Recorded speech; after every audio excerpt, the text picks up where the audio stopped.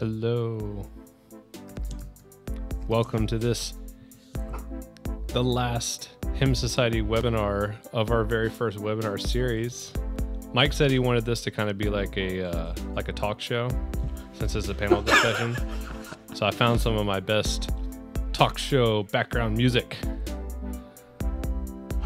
So if you're not familiar with the webinar format, the webinar format is a little different than the meeting format. You can dance, no one can see you because the only people that can be seen are the panelists. but there are ways you can interact. There are there is the chat. The chat works the same way. You can put questions in the chat if you like. You can talk to each other. There are two ways to use the chat. You can chat to everyone or just the panelists. And then there's the Q&A. You can put in your question if you have a question you want the panelists to chew on together. And then you can upvote. So if you see a question that you really love, you can do what's called an upvote. And that means it'll be higher in the queue and more likely to be answered by the panelists. And now, introducing your host for today, Mike McMahon, Executive Director of the Hymn Society He's got degrees from all sorts of places in theology. He's worked for all sorts of people. He is an ordained minister in the Disciples of Christ, and he is now your executive director. Wow, what an introduction. I have never been introduced more beautifully than that, Brian. Thank you so much. Well, welcome everybody. It's great to be with you today for this webinar that we are calling uh, Singing as the Journey Continues. And um, we know that um, this past year has been been a year, right? It's been uh, an amazing and difficult time, uh, but uh, it seems like this is a good point for us to sort of reflect on what's been going on uh, for, for us over the past year, and also to reflect on where we're going to be going from here on out, because uh, we're sort of at a transition point where uh, things are going to be changing drastically.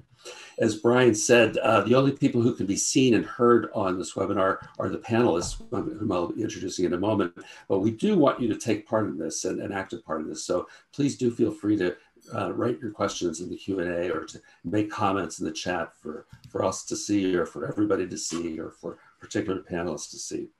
Um, so this year, we've had this pandemic that has isolated us. It's uh, you know caused more than two and a half million infections worldwide. Uh, it's I guess an extra two and a half million deaths worldwide. Um, it's been disruptive to our churches, our communities, our, our workplaces. Uh, it's caused major disruption all around us, and it's been a challenge for, for our churches.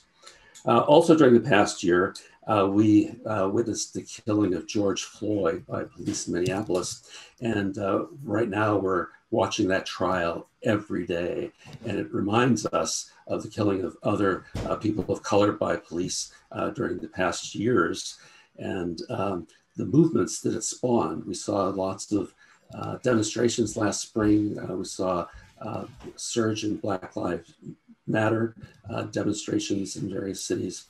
Um, just last week, I was down in downtown Washington, and, and, for the first time, I actually got to stand in Black Lives Matter Plaza and uh, recall what's what's been going on down there.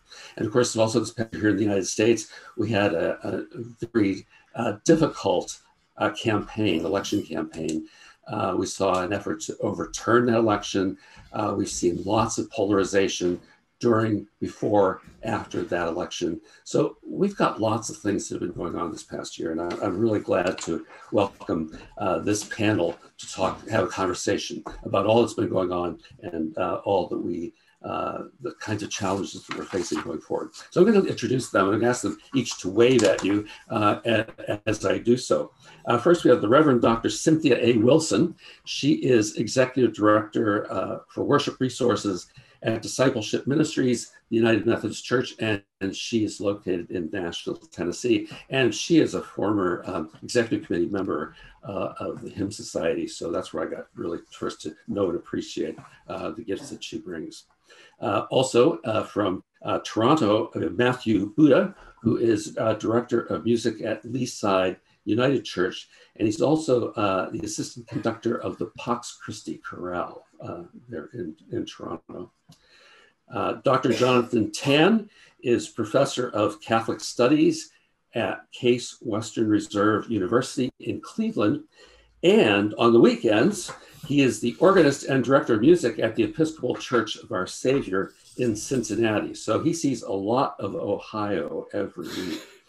And uh, we have Kate Williams, who is the senior managing editor at GIA Publications in Chicago, and who's also involved at the local level and at the national level in, in church matters too. And uh, works in Roman Catholic setting. So welcome to all of you. I am so, so glad to have this opportunity to speak with you about uh, where we've been and where we're going. So I, would like to start a conversation with Cynthia Wilson, um, Director of Worship Resources for an entire denomination.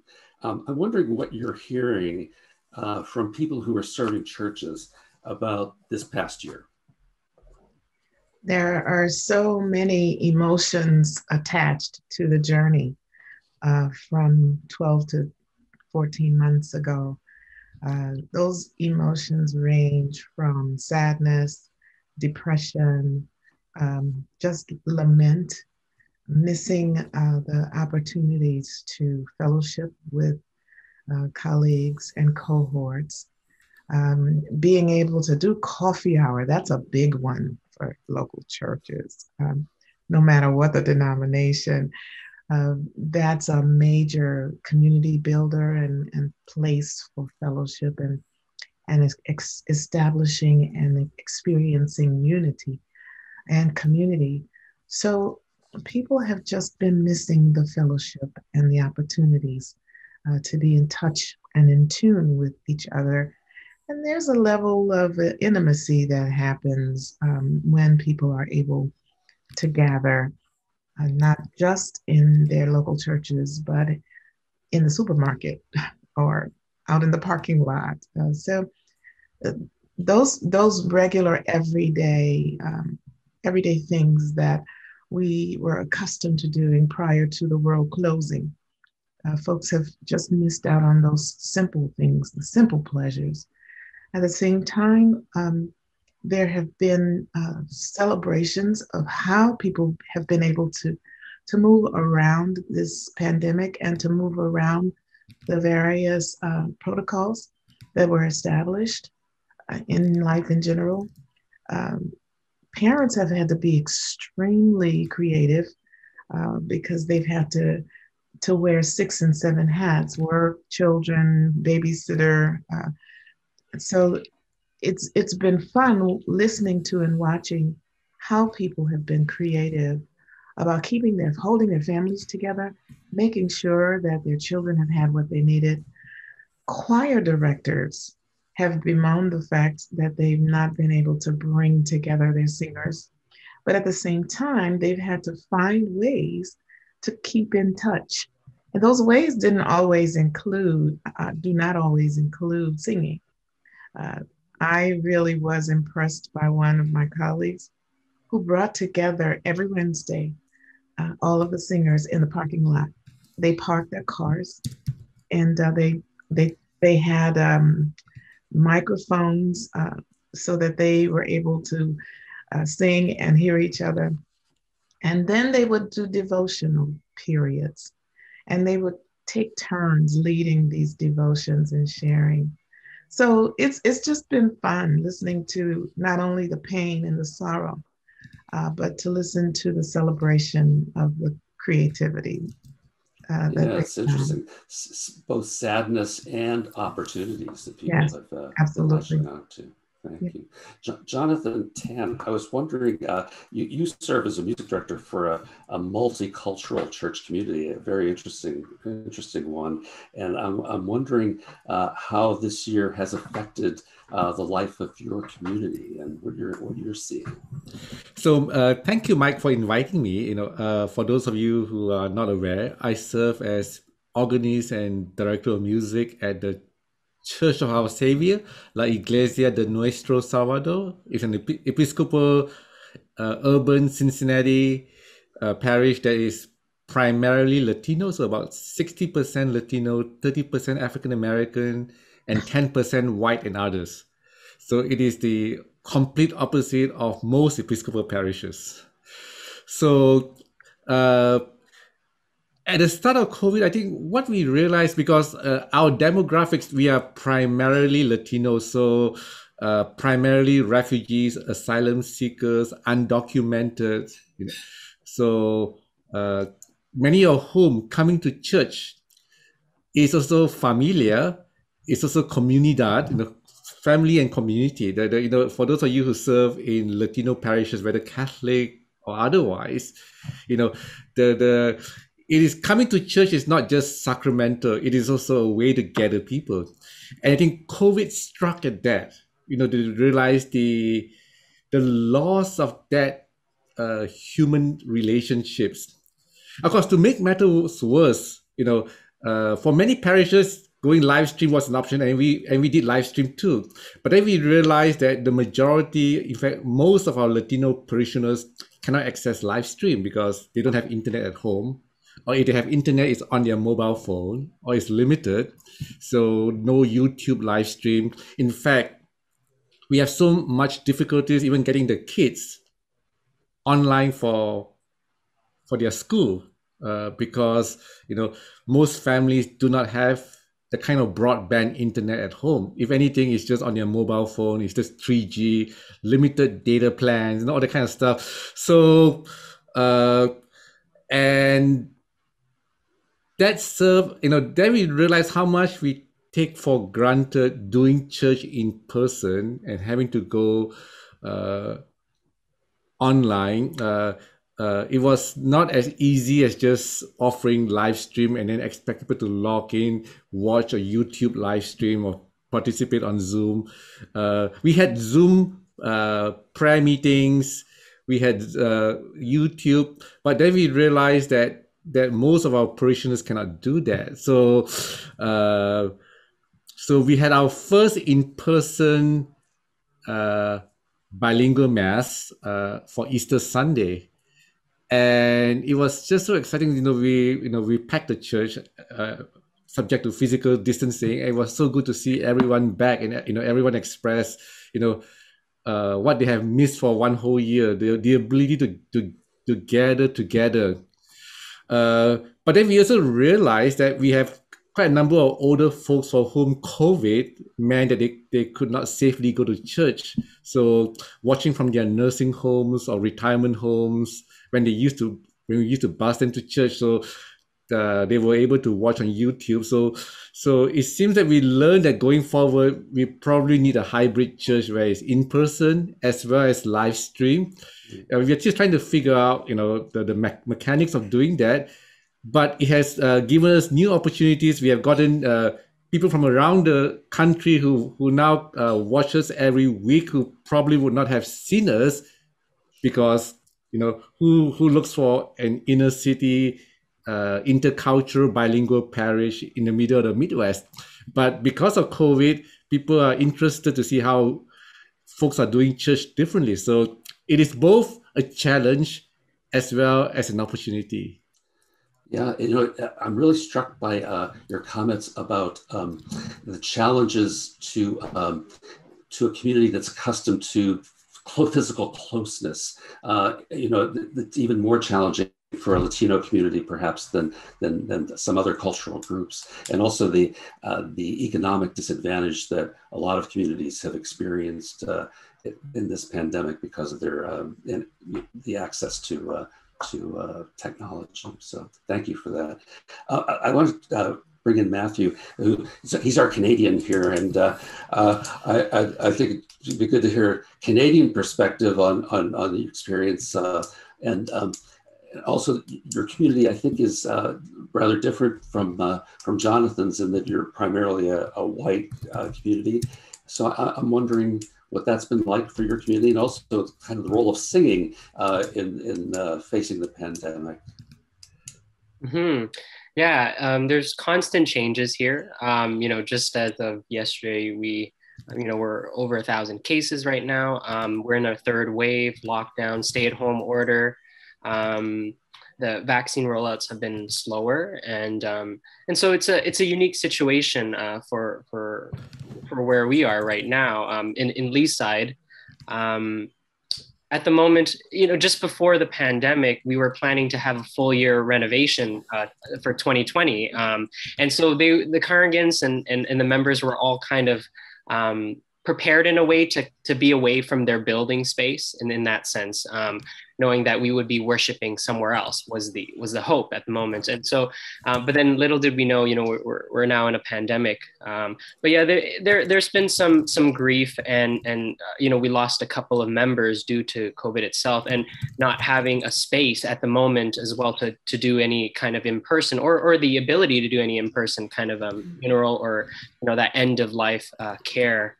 Um, and so to move everything virtual, it's been um, a different process to, to offer these, um, you know, services and, and you know, and, and, care virtually. And, and so there's been some unique aspects in that front. And um, in terms of singing, um, so at the moment we don't have any in-person um, uh, worship services, everything since the start of uh, September, um, everything has been virtual. So we kind of, so whether, regardless of any changes or anything, we just did everything virtually. So at least we were, we all knew that, you know, because there were so many things that were changing, you know, kids, uh, you know, things are opening up, things are closing, and that was changing quite often.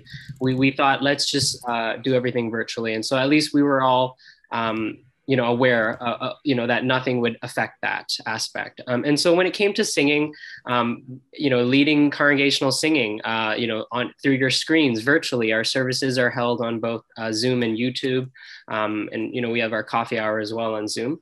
Um, but yeah so we have we have a soloist who um, leads our hymn singing and, I, and i'm usually accompanying. Interestingly we do this uh, virtually. So I record the uh, hymn accompaniments, and they kind of record their uh, the, their voice on top of that, and um, and that's how we've been trying to share um, music, and and it's been kind of interesting in that sense as well, right? This kind of you know, as the singer themselves, you know, this this more soloistic recording artist kind of nature. And just the way worship is at the moment it's just very hyper focused online too. You know you don't have the, the stained glass windows or hearing um, or someone to just whisper to you know in a service or something. It's just here's what's in front of you in a sense. And things are a bit more hyper focused but um, still trying to figure out ways to encourage congregational song online, you know, through a screen um, is, is always something we're working on. Sometimes we feel as leaders that um, we're kind of like the performers and, you know, the congregants kind of feel like they're receiving as the audience. So how can we encourage them? They are the actors in this, right? And, and how can we get that participation up? And so that, that that's something we're always trying to encourage, um, even virtually, so. Hey, thank you, Matthew. Kate, so you, you're GIA, and uh, I know that this has been a very tough year for uh, publishers, and uh, you know we've been thinking about you.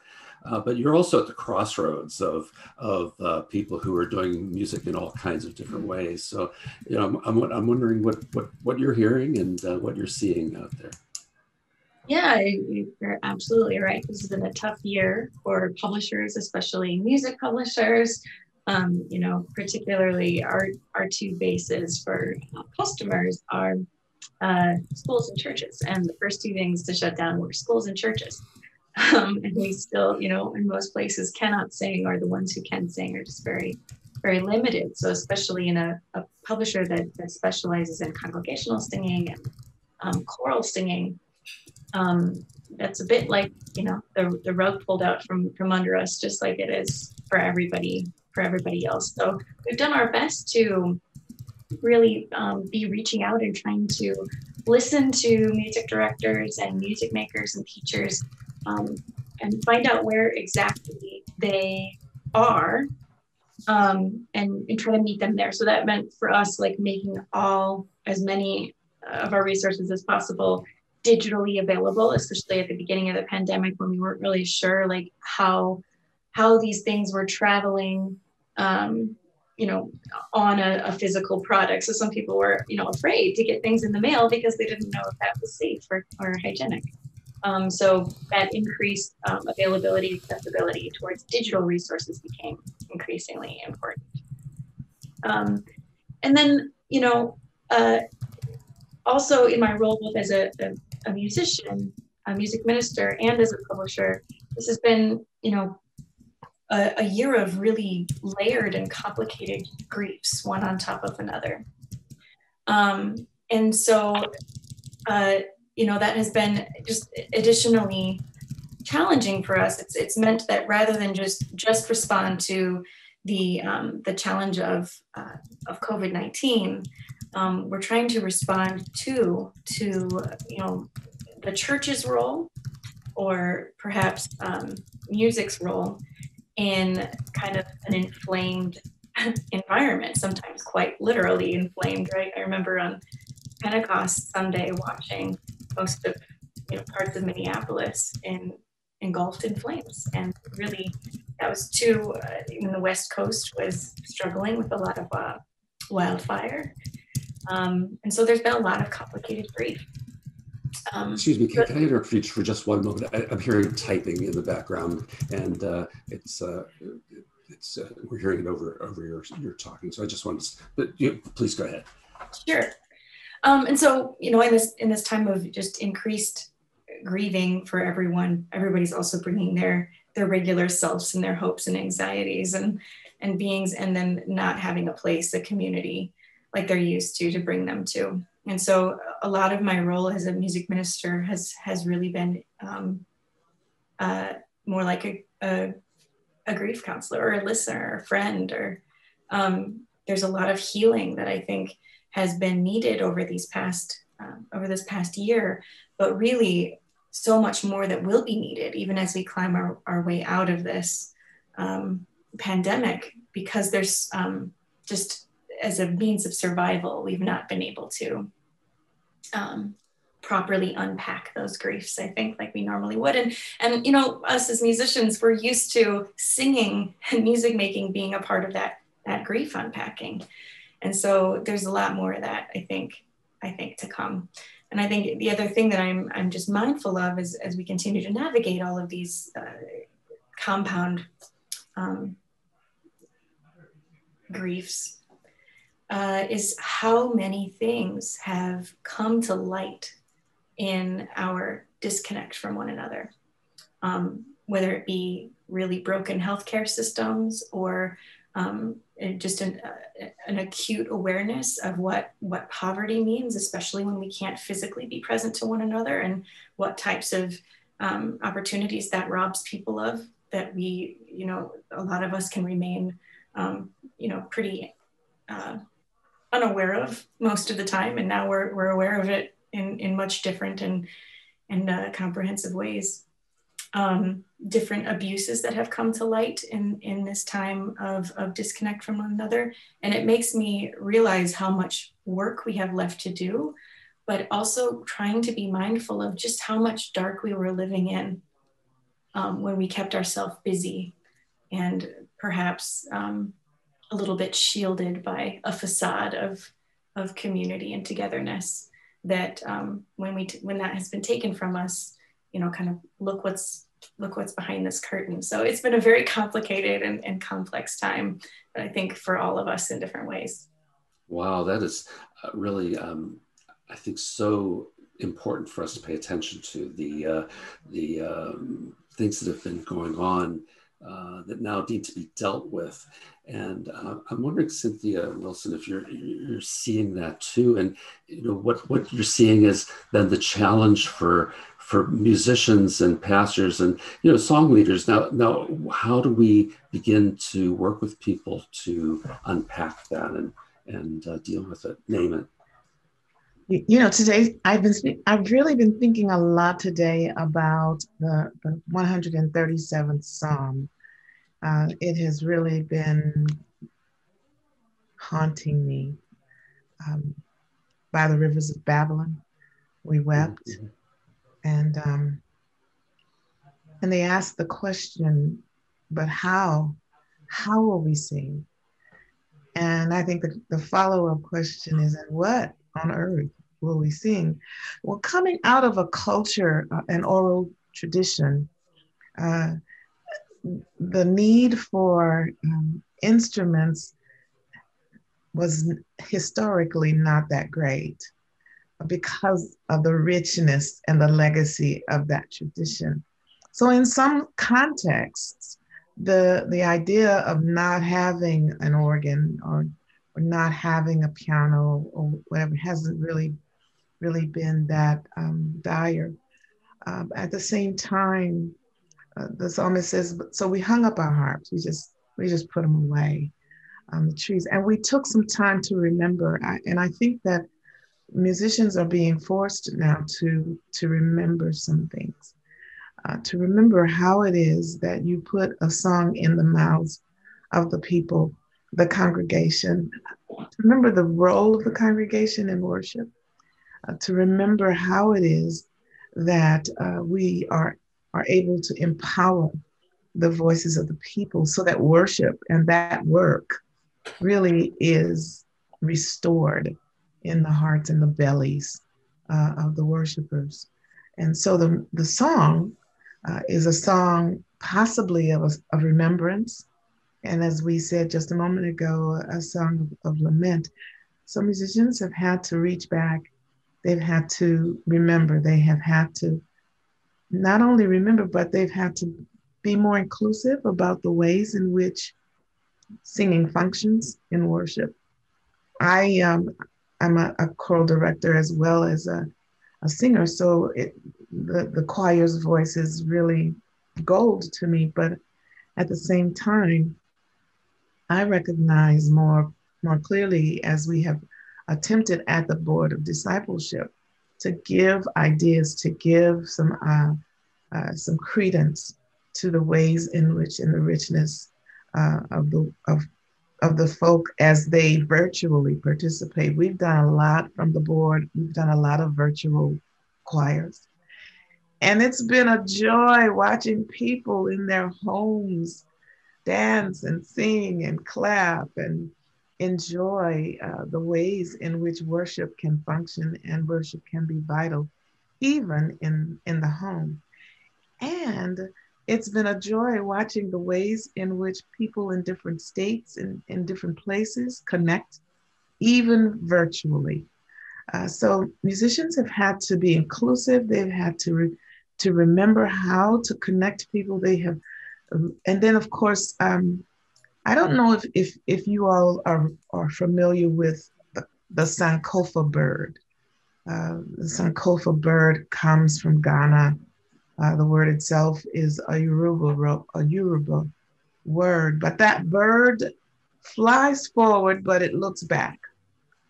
I think musicians have had to learn how to keep moving. And although it's good to remember, uh, it's not necessarily so good to keep looking back. It's good to reach back and learn from what was, but there is a, a, richness about being able to keep moving and and keep looking forward. So there's some learnings uh, that we have had to uh, take advantage of uh, as musicians as worship leaders even as pastors. Uh, we've learned some things and we've had to remember those things but now we're having to figure out where we're going and how we're going to get there and what shall we say to these things so the song itself ought to be, yes, repeating history, but yes, speaking to what is to come, what will be. Uh, Langston Hughes said, Life for me ain't been no crystal stair. That is so real in my sanctified soul. It's real. Uh, but how do we sing a welcome when uh, you're so accustomed uh, to singing with someone? How do you how do you make that live? Uh, there's some that the the uh, civil rights movement uh, used the medium of music, right? And that music functioned as a conveyor belt. It kept the folk moving. Uh, that's that's what uh, that's that's the mission, and that's that's the the way in which we can keep the legacy and the aliveness and the vitality of what worship ought to be and what it ought to look like, both now and, and in years to come, I think. We don't, I, I think what we've learned as worship leaders, as musicians, what, what we've learned is that we really don't have to have a building, right? Right. We've, we've really worked it out without so, having to be inside of a building. Yeah. Yeah.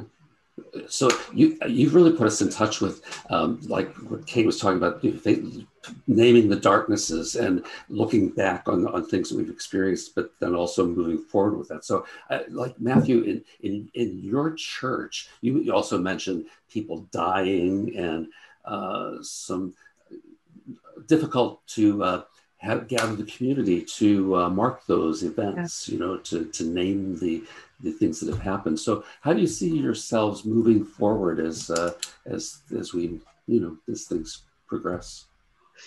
Hmm. Yeah. So there are definitely a lot of families that are still like, you know, once uh, things are under control and we're not in a sense like in a pandemic, we'd like to, you know, have a, a, a service uh, remembering this person's life. Um, and so there's been a lot of people that have been, um, would rather somehow have it in person. And so we're holding that um, for them. And um, at the moment, we're always just reaching out. Um, you know, we, uh, in, in little ways, whether we are mailing little things or giving them a call, just to continue to connect with them. Um, I, I, know uh, just a couple of service ago, we, we uh, one of the members, they, they were remembering their husband of one year. Um, at, uh, he passed away just two weeks uh, in March of last year. And so we, we offered them a service in remembrance, you know, with music that um, he he really enjoyed and he was in touch with, and that included hymns as well as other music uh, as well. And so, it, ways to kind of honor and um, remember, and you know, through this grief process. At the moment, it's virtual, and there's still we're still definitely looking forward to when we can host these um, gatherings in person again. Um, because it's quite a community where people just all want to be there at once yeah. in a sense. So we're, we're waiting for that. Cool, thanks. Jonathan, I was wondering in, in the Latino community, um, how, are people singing the songs of lament and, uh, and, and, and hope at the same time? Well, our community, uh, because we have quite a number of undocumented refugees, asylum seekers, and ever since Biden came to power, uh, came into office, sorry, uh, we have had a huge influx of uh, new arrivals you know, who cross the border and then they are resettled here. Uh, and so for us, you know, uh, uh, our communities, uh, it's a bit different in the sense that uh, you know our uh, most of our communities are uh, indigenous Mayans uh, from Guatemala and Honduras, and for whom Spanish is not even their first language, is is uh, Mam or some other indigenous Mayan languages. Uh, what and, and for them the the the primary mode of survival is they survive crossing the border. They were relocated by ICE here because of existing family ties. So for us, doing church is not even it's even more basic than just providing music or the Sunday mass or the kind of stuff. Uh, is to try to give them food, try to settle them, find documentation, make sure the cops got Ohio being conservative, don't harass them or arrest them because they don't have the paperwork while they are being processed through the system. Uh, just because under Biden they can come in doesn't doesn't mean that the conservative Republican administration and the police and the sheriffs will not harass them. You know, it's a, you know, so so we, we deal with that. And but for these people, it's very different. So for them, it's not lament. The fact that they survived crossing the Rio Grande, crossing the border, the desert, you know, uh, the coyotes and all the kind of stuff is celebration. Uh, so, so, how are you expressing that in so, worship? So in I mean, so what we have done is because for a lot of these people, they don't even watch our YouTube live stream. So we do audio podcasts. They listen to it while they work. Uh, you know, uh, headphones and stuff. You know, files that they can download uh, on small clips. You know, so we are going even far more basic. You know, uh, than YouTube live stream because these people, you know, you know, uh, MP3 files that can be shared easily that they can listen while they work uh, because many of them work in Amazon warehouses or in hospitality hotels as cleaning staff that they can listen. Uh, uh, for many of them, uh, uh, you know, in terms of music, you know, Latino, Latino music, as you know, is not meant to be done as a solo performer. It's always a community effort. so what we have done is, you know, we, we, we just record instrumental tracks and they can sing along to it. We don't even we don't even do soloists. So so very very often that e- even now because we even even for Easter Sunday when we have our in person, uh, uh, because of the diocesan mandate, uh, because we are still quite high, so we, we just provide instrumental music, no singing. But you know, people at home who watch, people who listen, can sing because they have familiar sound. They can sing on their own. You know, uh, we have what we have done is deliberately chosen songs that everybody knows. So nothing new, nothing unusual, nothing that requires a big fancy choir, but but the songs that the community knows they can sing by heart. Uh, and I, I think getting back to the basics. Mm-hmm. So for them, so they can celebrate. So so uh, so I, I think it, it shows the, the the the different demographics because we, as our parish we, we never had fancy choirs or the kind of uh, uh, you know performance style uh, liturgies to begin with. It was uh, we, we don't even have a standing choir in our parish, uh, so it's, the singing has always been done by the community. The music I pick are music that the community knows how to sing. Uh, uh, right. So it's very it's a very different, I suppose, from other parishes. So you you one of the things you've raised is some of the technological challenges of serving different kinds of communities. Uh, so, for example, people who are uh, working blue collar jobs uh, and limited income are not sitting in nice offices like mine here uh, on their Zoom calls. Uh, so Brian raised this question sort of in a more global sense about um, now that we, uh, we were also talking about going forward doing hybrid formats uh, for worship on, on Sundays um, which is uh, going to create a lot more work for staff and volunteers. And wondering what are the what are the ramifications of those increased expectations? You think uh, uh, going forward, Kate? Yeah, financial ramifications and uh, burnout yeah. ramifications. I think are the top two, the top of my mind. Um, because all of these new skills that people have been expected and really have been quite courageous and ingenious about acquiring the skills to do Zoom and to do virtual choirs and to to podcast or live stream or whatever is working for their community. It's really been quite remarkable to see that come together so quickly and creatively. Um, but it, you know, it has a cost. I think all of those new ways of being connected have had a cost. And I mean that financially, and I mean that um, the cost of you know the sacrifices that I think mu- musicians, music makers, parishes, uh, churches have had to pay.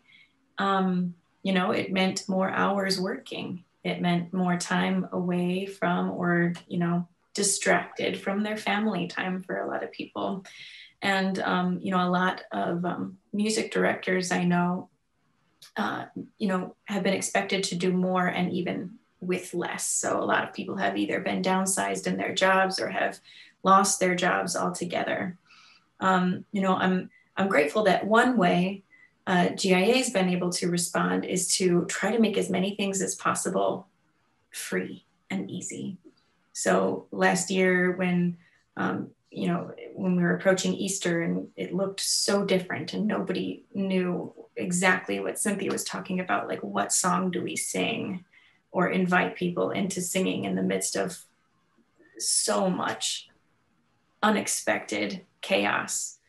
Um, and so there was this wonderful um, Benjamin Brody song, Christ Still Rises, um, uh, that, that we were made available for free. And that was a gift both of the, the composer and the text author as, as much as it was from GIA. Like, we want you to sing, we want to help. I think this might be an answer um, let it not cost you.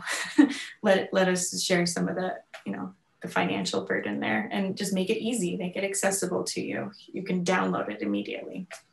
Um, like, um, you know, Hymn Society, we've also been trying to do, you know, a number of webinars throughout the year as well to keep people connected, to give people that, um, you know a little bit of that fellowship vibe as much as you know professional development and really just a, a place to try to find hope again um, amongst you know even sharing those those burdens that we've all been carrying and feeling so isolated with.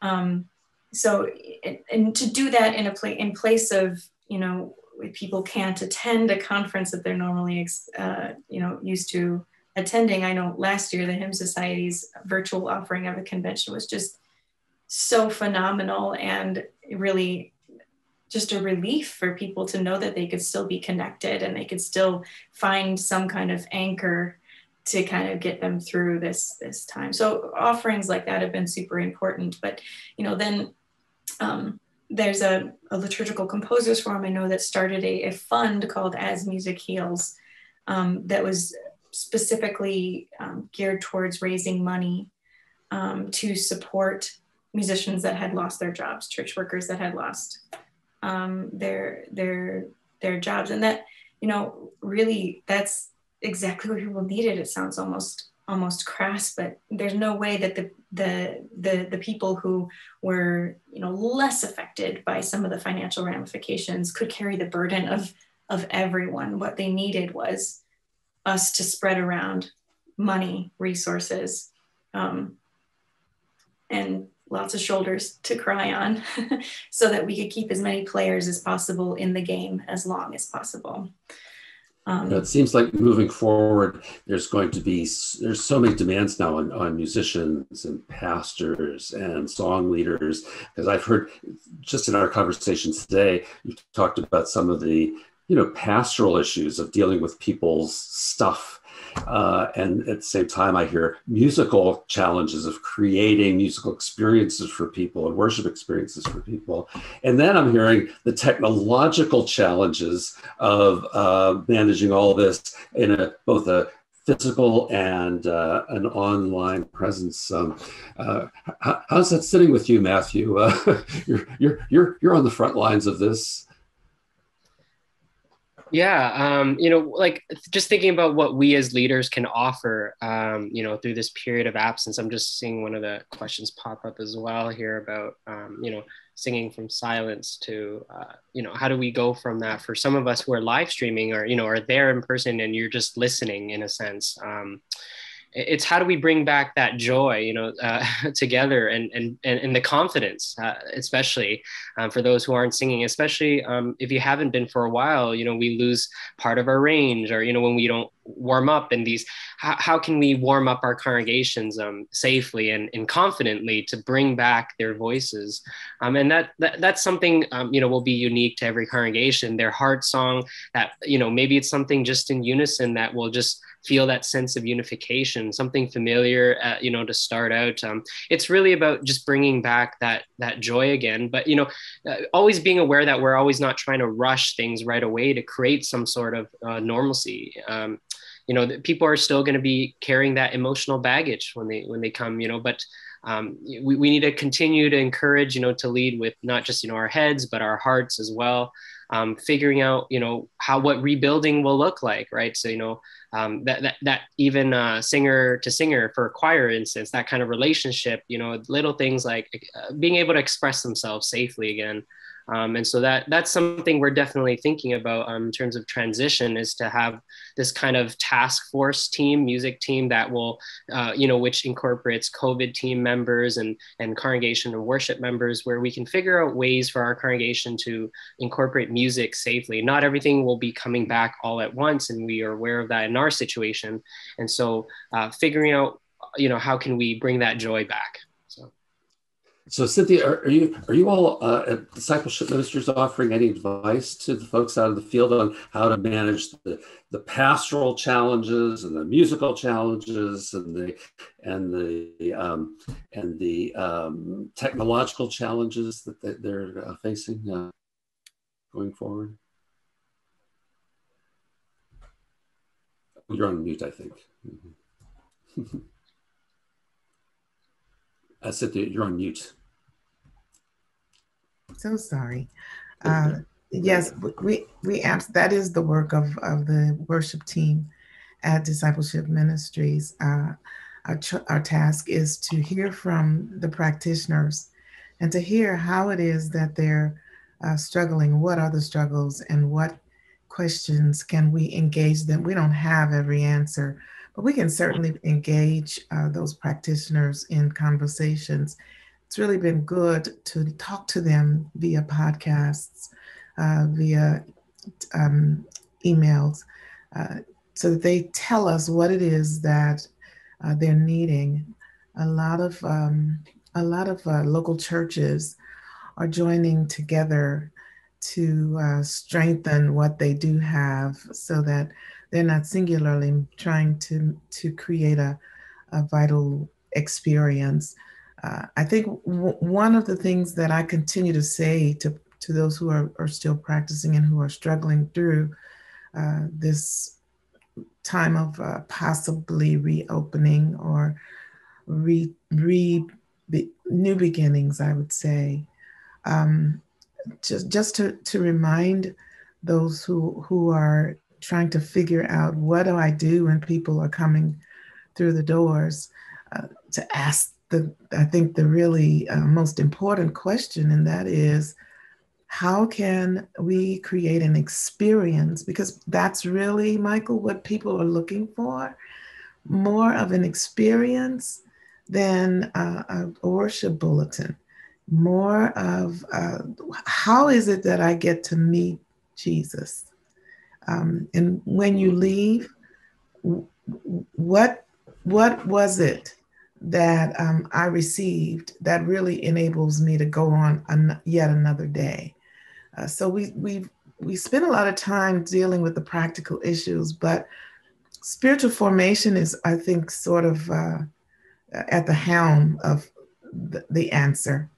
And unless we really get serious about going back to the basics in terms of uh, uh, understanding the spiritual side of uh, worship and how it is that we get back to Jesus and how Jesus really becomes the, the neighbor and the friend. And the words of our songs come as a result of our encounter and experience with Jesus.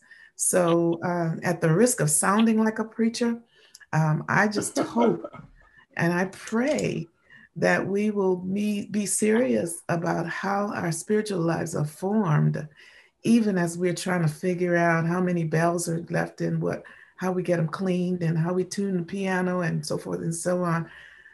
Always remember Jesus. And going back to this psalm, uh, you know, I, I just, the strangers who will come, who've been listening to us and now they're present among us, how is it that they will, how, when they leave, what will they say? What will they have experienced? And will they be able to say, Have not our hearts burned within while the strangers walked with us along the, the wayside. I, I don't know. Hey, preach it! I, I, I'm, I think that's great. Um, I, you know, you, you, made me think of uh, something that I heard on Saturday. Uh, there was a um, on Weekend Edition uh, uh on NPR. They had a, a, a, story from Sacramento where they had been doing some studies of uh, how people's faith has been affected by the pandemic. And what they found was that people's faith is actually stronger. Yes. And I think that came across as sort of a surprise. And I, I, wonder how, you know, Jonathan, how, have you, what, what, how do, how do you think the pandemic has affected faith in the community that you're serving?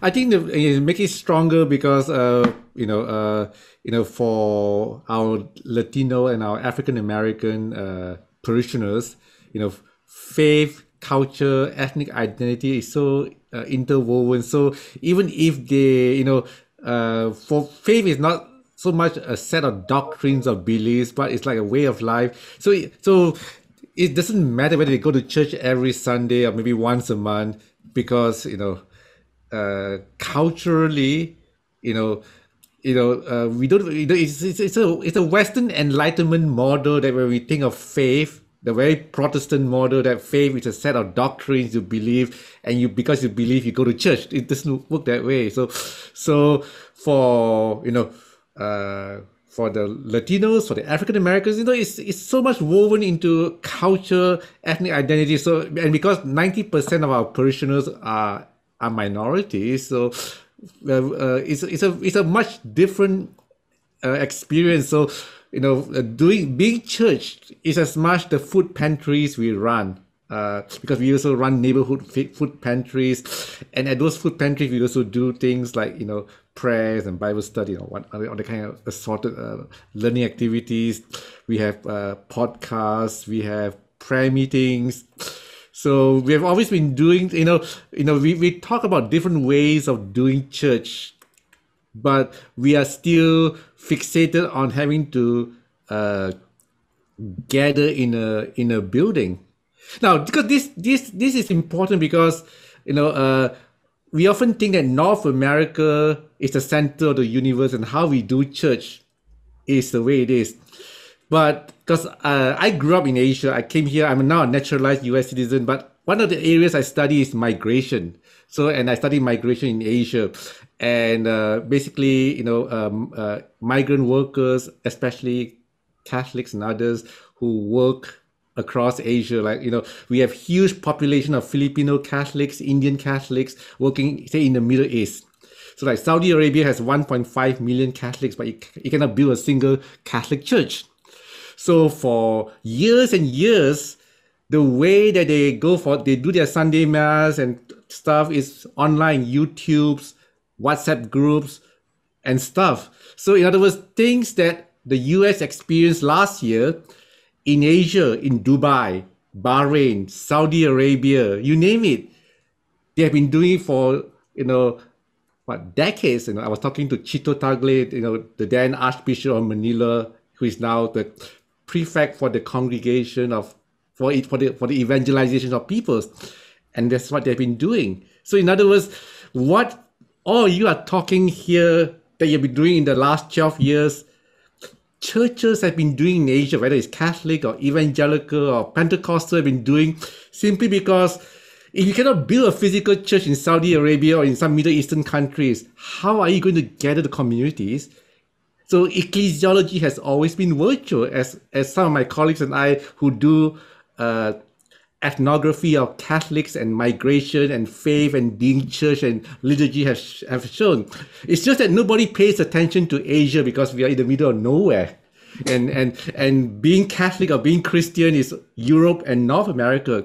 I think what COVID has done, what the pandemic has done, is to reveal that, hey, you know, other parts of the world have been doing it and now you are doing it for the first time and you have to reinvent the wheel but you know everybody else has been doing that you know sometimes you know uh, and uh, and uh, so uh, so you know so uh, so part of what I bring to my parish by virtue of it is because I know how things have been done in Asia. So one of the one of the fortunate things for for the Church of Our Saviour is many of these things I learned have been done in Asia. We could do it in Cincinnati uh, because you know I know how it's done. Say uh, by the Koreans and the Filipinos who have been who have been live streaming the Sunday masses for years to Korean Catholics and Filipino Catholics, say in Saudi Arabia. So, so, so one of the yeah. things I'm hearing you say is that um, that the the uh, changes that uh, that we look forward to perhaps are not are, you know, we, have sort of, we, we, we need to, I'm wondering, do we need to think big about what's going to be different going forward. I mean, right now, you know, we we've had we've sort everything's been disrupted. So do we go when we go back? Is it going to be back to normal, or is it going to be moving forward into something new? Uh, and, and, I'm wondering, Kate, what, you, what you're hearing about that? Uh, yeah, it's you know, I love the analogy that Cynthia brought to us about the bird who travels forward while looking back. And I'm finding myself doing a lot of that in the middle of the pandemic. And as, as you mentioned at the beginning, I'm Catholic. I come from a Catholic um, uh, perspective, and even sitting right here in front of me, I have I have this rosary. And I am not, you know, I'm, I'm, a millennial Catholic, but I'm not a typical rosary praying Catholic. But in the absence of yeah. my brothers and sisters and, and in our traditions and our patterns and that experience of breathing in the same room as people at the same time as people yeah. and singing with the same rhythm and pulses and, and, you know, even our science tells us that it syncs our heartbeats together. In the absence of those things, I'm looking for all of these other parts of my tradition that I can literally sense. I can touch it and taste it and smell it and, and hear it. I'm, I'm, I'm looking for these ways to put my faith and my practices in my body. Yeah. Um, so I've looked back at what, what's available in my tradition and I brought it forward with me. And, and now this will mean something to me, even when I can continue to go back to my church, because this is the a thing. It's a tool. It's helping me get through this time. And I think about that too. Um, you know, in, in the absence of being able to breathe and sing and rhythm and, and sync with people, this absence is also teaching us something important so we're taking this memory of absence with us together when we come come together again. So we won't be the same, and we shouldn't be the same when we get when we get together again. Um, and that's because this experience has changed us in in ways that have been painful and in ways that have created new opportunities for us. I think, um, and um, you know that's that's um, that's important to me because I'm coming from and I don't mean to speak for everyone, but I'm coming from a tradition where I, I see lots of disappointment in what's happening in my faith tradition and even in my church. And, you know, we can have the dwindling numbers conversation forever in on the, the white and Western side of Christianity. But, you know, like Jonathan is saying, we, we're invited now to, to look if there were ever a time, mm-hmm. look bigger than ourselves, to look bigger than our own country, and to together globally be united by this experience of separation and absence and learn from from one another.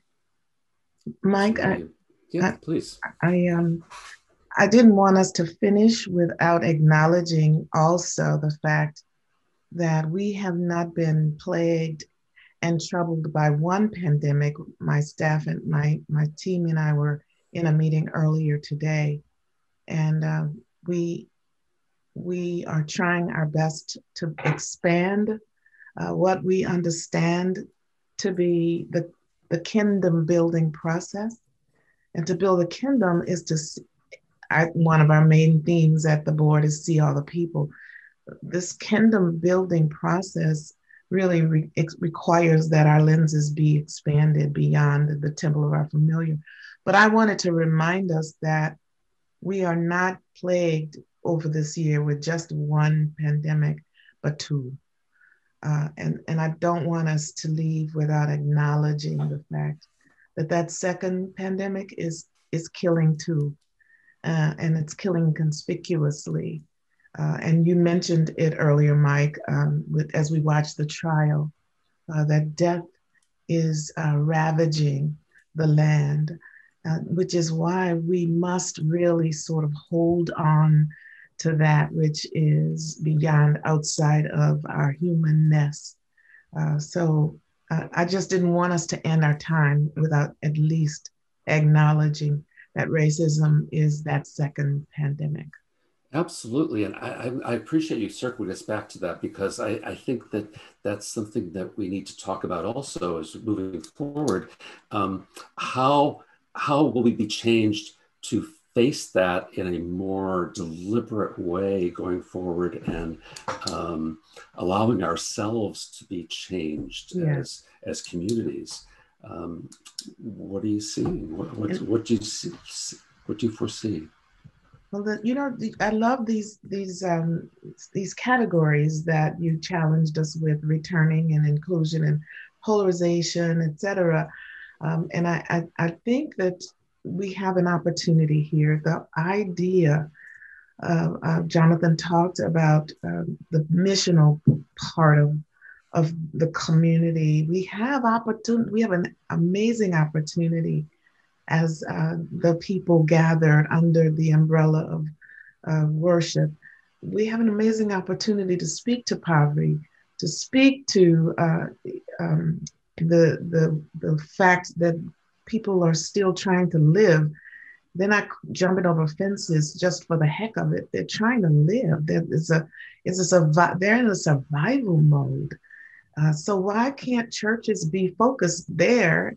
Not so much where they're going to get the music from, but you know, because the music they gotta sing in, in order to survive. It's a it's a catharsis, a catharsis of the soul. That's how music functions we ought to be able to sing.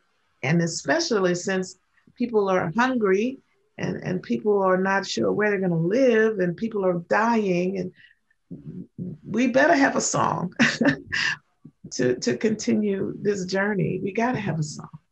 So, so, so I'm, I'm sorry. No, I'm wondering about that in light of you know Martin Luther King's famous uh, observation that 10 yeah. o'clock Sunday morning is the most segregated hour in America. Yeah. Uh, how how then, you know, what what are what are the ways in which we can be singing together? And I, I mean that in the big sense, you know, yeah. not just in the in the sense of our own little communities. Uh, anybody have a thought on that? I don't mean to keep butting in, but the Hymn Society is uh, this year looking at a conversation, right, in in the theme for the, this year's uh, conference, and I um, I'm excited about what we come away with via that theme. What what what is it that uh, we will say about being hospitable in mm-hmm. our song? How is it that we will sing the people back together again? What what is it that we will take away from that conversation that will enable us uh, to to speak again to this idea of welcoming through song? Music can do that like nothing else, and the, the ways in which it and I keep going back to my own context because uh, African Americans in the Africana church has always understood that legacy, that the richness of that legacy. And if there's not a song that says to the stranger uh, in, in the midst, you're welcome here, then we, we may want to start again, mm. especially for those who don't know the song, right? Mm. I think um, you know, I it's, it's a tough tough conversation to have, but I feel compelled to, you know, call myself out and my, you know, white brothers and sisters out, um, or call in, or whichever language you, you mm-hmm. choose to use. But um, we have a tendency as um, white American people to um, really struggle to you know divorce ourselves from being the center of the conversation the center of the song and so even when we think about singing a welcome what we think is that we white america are welcoming everyone else and i'm i'm really i'm i think what's compelling is if we try to flip our minds my white brothers and sisters flip our minds to like there is life, there is more life in the diversity of our church, of our nation, in the the the, the worshiping people of, of color in our nation. That that part of our church and our, our faith communities, they're growing. They don't have the same, you know, narrative of decline like the white church in, in America has. And it's really that diverse voice that's welcoming us, that's taking us white people with them into the future. But our minds are still fixated on this idea. And I, I, it's reinforced by all kinds of things in our community, in our society, in our politics, um, that we're the center. And so I would, I would challenge us going forward to try to convince ourselves that we're not. I'm wondering, uh, Matthew, are you having that conversation in your congregation? Hmm, no, I was just thinking about what Kate was saying. You know, how do we shift that yeah. idea of the center to this more spectrum? You know, um, that you know it's not just uh, this aspect here. Um, but yeah, just thinking about singing welcome. Um, you know, thinking about the uh, effects of uh, you know what Black Lives Matter means um, to a white uh, major- uh, majority congregation here. Um, what does it mean to sing welcome um, and you know the what happened to george floyd? Of course uh, these are some of the important topics we have with our own uh, not just our own congregation but within our own com- committees and you know councils and and just how do we take that step further rather you know there were interesting things um, that we've been trying to uh, to to to start and continue uh, as we go with this conversation, one of the things that we have um, started was this kind of like anti, like, yeah, how can we approach things in an anti-racist way uh, through worship planning? Um, you know, the things that we, you know, whether that's picking hymns or or conversations you're having, we've been trying to take the approach, you know, the anti-racist approach of things. And one of the ways we've also uh, formed an anti-racist grandparenting group, um, and this was kind of open to grandparents, aunts, uncles, neighbors, you know, anyone else who spends time with children and youth. You know, there's been quite a bit of resources lately about anti-racist parenting, but it's not just up to the parents, right? So um, this was an opportunity to discuss, share ideas, and resources about how we bring anti-racism into being an expanded circle of care for the young people in our lives. Um, you know, so we're planning to also have another meeting um, later in this year as well. Um, but these are just some ways how we are trying to educate and continue to. I, I know we're just kind of you know there's there's no ending to this. This is just a journey for us that we are on at the mm-hmm. moment. And, and so there there we, have been trying to uplift you know these uh, minority individuals and these voices and, and ways to um, think about defunding. The police has been a and you know a conversation in our in our worship committees as well. So well, gosh, there are just so many intersections that, yeah. that we have uh, we can uh, name, uh, but I think we're probably going to need to start to bring our conversation to a close. And I, would like to give each of you an opportunity to kind of talk about um, something that you really hope for uh, for churches, uh, for singing communities, uh, is going forward as we as we see things changing uh, back to more in-person contact and in-person singing and in-person worship. So, uh, Jonathan, you want to you want to take a stab at that? Okay, okay. I mean, uh, let me echo what Cynthia has, said, and and and, and because my parish is Black Lives Matters and refugees, so uh, police shooting just affect our community as well as immigrants, and and so so we cannot talk about church without talking about Black Lives Matters and immigrant lives matters, you know, and that we have to let our let people Americans know that immigrants are not just criminals or out to steal or our way of life or whatever, but you know that they, they, they flee from Guatemala because you know you know you know they just cannot survive there. You know, and so how does that translate into church life, community life, singing, liturgy? You know, what worked for our parish is you know learning each other's songs. You know, our our African American parishioners were sing "Canta al Señor" as enthusiastically as the Latinos, and our Latinos can sing uh, "He Rose." They crucify my savior. Of course, we, we have translated all this. So so like you know, heroes. They crucify my savior. We have we have bilingual lyrics now that we do they do in-house translations. So so that you know they can sing that. You know our our African American parishioners can sing, you know, the the Cordero de Dios from Misa Mariachi, the classic uh, Lamb of God setting that just about every Latino knows, as enthusiastically in Spanish as the Latinos, and vice versa. So one of the things is music is universal uh, we have to do the hard work. Not we cannot wait for GIA or OCP to always translate everything. Uh, so we have in-house. Uh, we do our in-house translations of things that they are not that, that we don't find in uh, Oramos uh, Cantando uh, or Flor y Canto. Uh, we teach, we learn. I mean, so I mean, if you know people learn to sing Silent Night in English, like still enough. There's no reason why you cannot learn to sing you know some of the Latino songs, you know, go back and forth singing, you know, like how they do it. We have done things like this. You sing simultaneously English, Spanish, the way we do at, at Daisy. No, there's so many models. it's just that I think, as Kate pointed out, in North America at least, I mean, coming here is there is this expectations of a, a normative way of doing liturgy, a normative way of doing liturgical music that uh, we have to disrupt so so like you know uh you know I came in I came in the 1990s, you know, when Bob Hurd was doing Misa de las Americas. Jonathan, Jonathan I'm, yeah. I'm gonna I'm gonna stop you there because we're right. we're, uh, we're, we're, running out of time, and I want to make All sure right, we well, get to everybody else. But okay, thank you. Okay, for, I'll stop you for that unshared. Uh, Matthew, how about you? What do you what do you, what would you like to see going forward uh, as we come back together?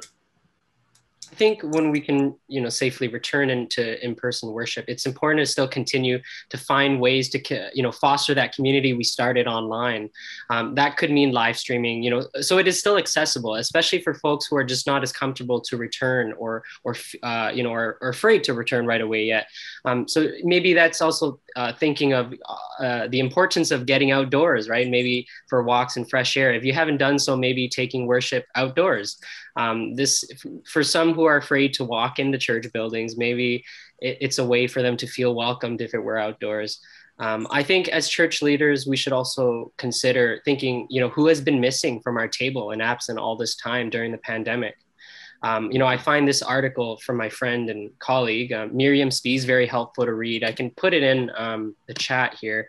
It talks about, you know, uh, COVID exposing Christian ableism, you know, what happens when churches reopen and how can we reach out to those first that have been missing all this time. Um, I'll just put that in quickly here for everybody. I, and I, I, I, recommend that article because I, you, you shared it with our group earlier and I, I found that to be very provocative. It's very good. Thank you for it.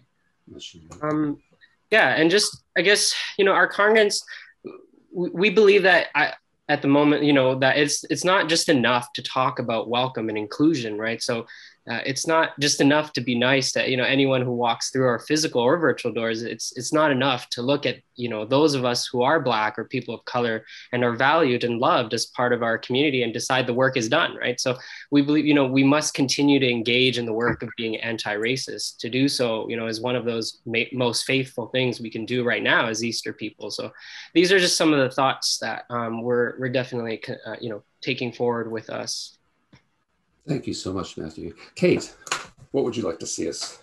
Yeah, well, I'm, I'm just thinking as, you know, I'm so enjoying being with all of you and talking. I wish we could have like a every week coffee hour together. That would be great. and I'm just thinking, you know, my my Catholic perspective has it tells me that liturgy and liturgical singing, congregational singing, is an act of truth telling and it's an act of remembering. It's telling who we are where we've come from what we've been through.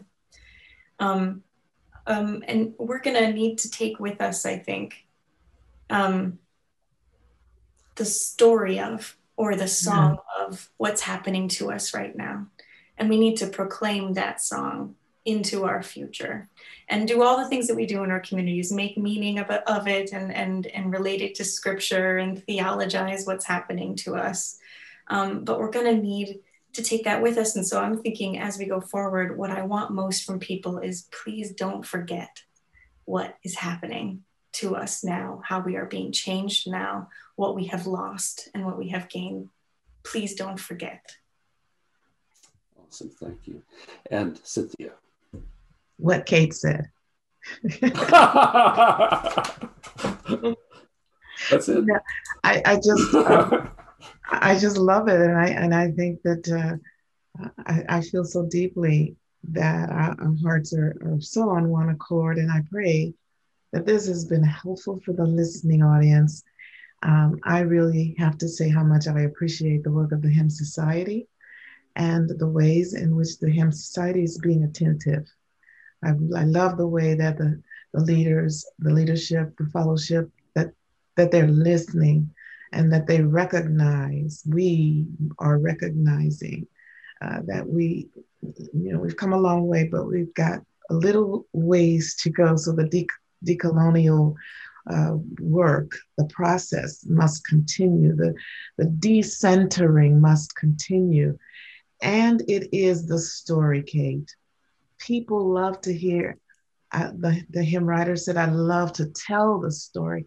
The psalmist loved telling the story. People loved sitting and listening to the story. And in each of our contexts, it's the story that gets us through the day and that connects our lives. To speak of the pain, to, to tell the truth, and to acknowledge the pain, but then to also recognize that there's a way out, there's a balm in Gilead. Amen. Well, th- th- thank you. I just don't know how to say thank you enough, to the four of you, for having this conversation today. Uh, and uh, it gives me a lot of hope for, um, it also makes me realize how much work we have left to do to, uh, to uh, as we uh, work uh, together in the future. Um, with a couple of questions that we didn't get to, and I, I just I just kind of want to acknowledge those. Uh, Jackie Jones was asking us about uh, the shock that's likely to occur. You know, when we we all start start singing together again after uh, singing in isolation from one another, but together, uh, and uh, uh, what kind of process we're going to need to, to do that. We don't really have time to deal with that, but I think that's a, a very thought-provoking question. So um, thank you for the for the the questions and for the comments that we got in the chat. Um, thank you to all of you for this.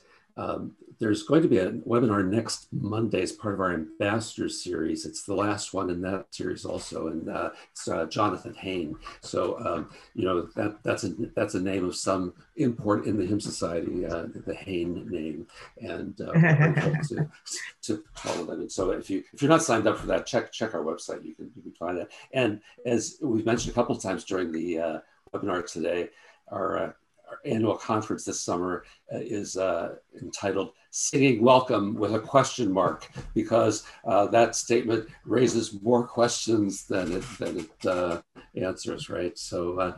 I think we're going to have some really good um, events uh, to explore that theme and to kind of help us do just the kinds of things that Cynthia mentioned just now. So again, thank you, Kate. Thank you, Matthew. Thank you, Jonathan. Thank you, Cynthia. And thanks to all of you for being with us today. Um, blessings to you and, and to all those you serve as, as we, as we uh, are, be church together. Bye-bye.